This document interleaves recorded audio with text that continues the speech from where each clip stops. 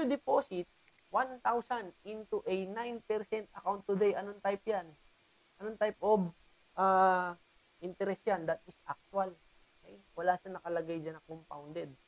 At the end of uh, 2 years, you will deposit another 3,000. So, invest ka na invest. At year year, naglagay ka daw ng pera.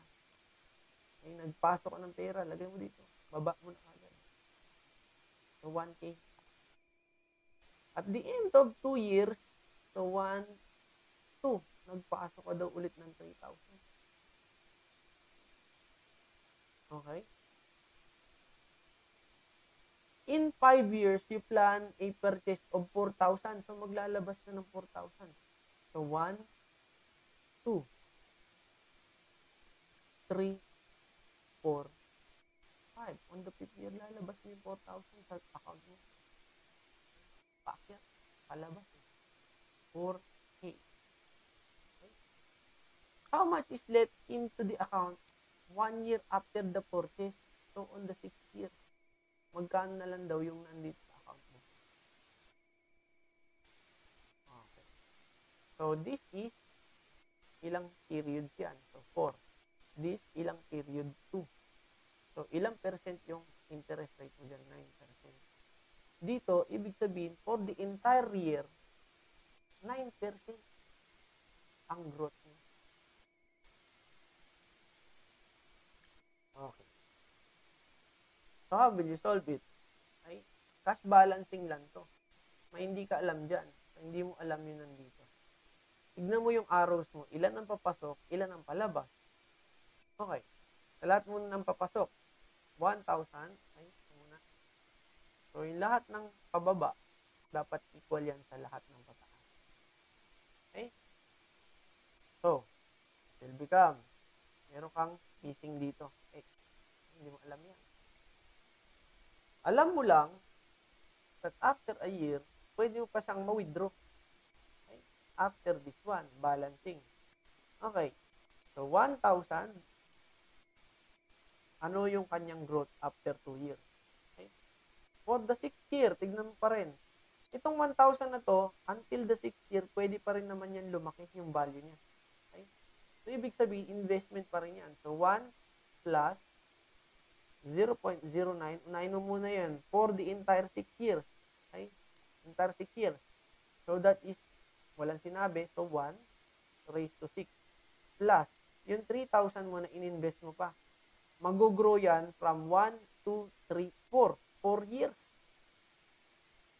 on the account. So, 1 dito, hindi lang naman dito matut matitigil yung growth ng 1 eh. For the 6th year, ang natin mo dyan, ha?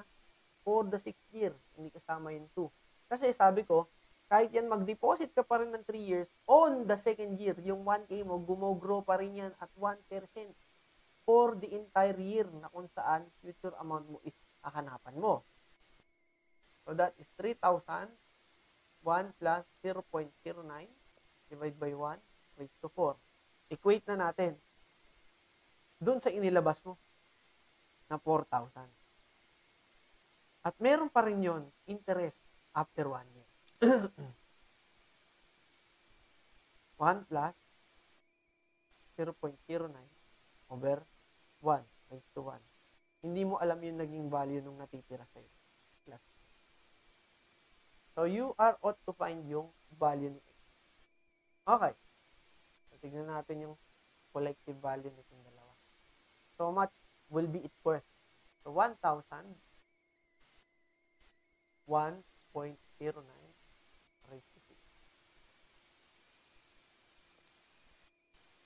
plus 3,000 times 1.09 raised to 4. Okay. So, that is 5,911.844941. Huwag nyo munang i-round it off. And then, yung 4,000 nyo, 1 plus 0.09 plus x. So, x will be equal to 5,911 0.844941 minus 4,000 times 1.09. So, after the uh, withdrawal of 4 years, the account will be left with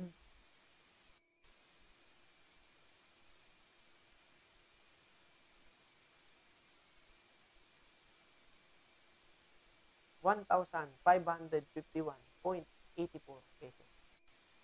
Yan na lang yung matitira sa account mo after 4 years. Okay? Basic yan.